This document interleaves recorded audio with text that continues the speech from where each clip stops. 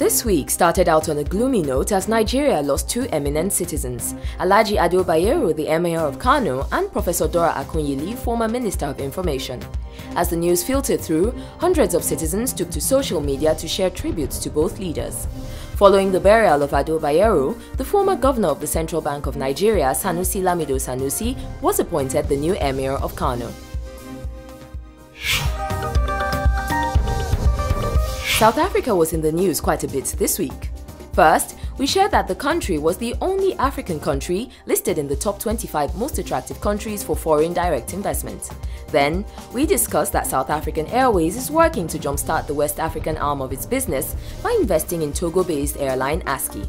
The airline plans to partner with Ghanaian investors, buy a stake in the airline and then move it to Accra, Ghana.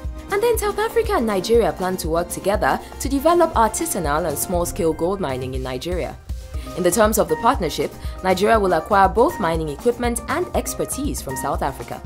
This is hoped to improve the country's mining technology, commodity pricing and the contribution of this precious metal to the national GDP.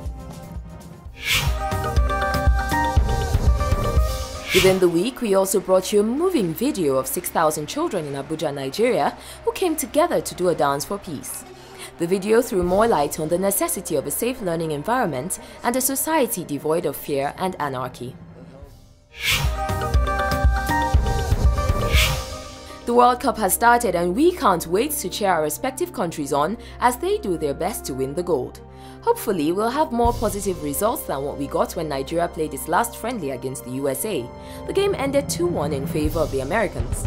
On the other hand, the Super Falcons, Nigeria's award-winning senior football squad, weren't joking when they promised to give it their all in their second leg qualifier against Rwanda. The Falcons beat the She Amavubi 8-0 to secure an aggregate of 12-1 and clinch a place at the Africa Women's Championship. And that's it on our news roundup for the week.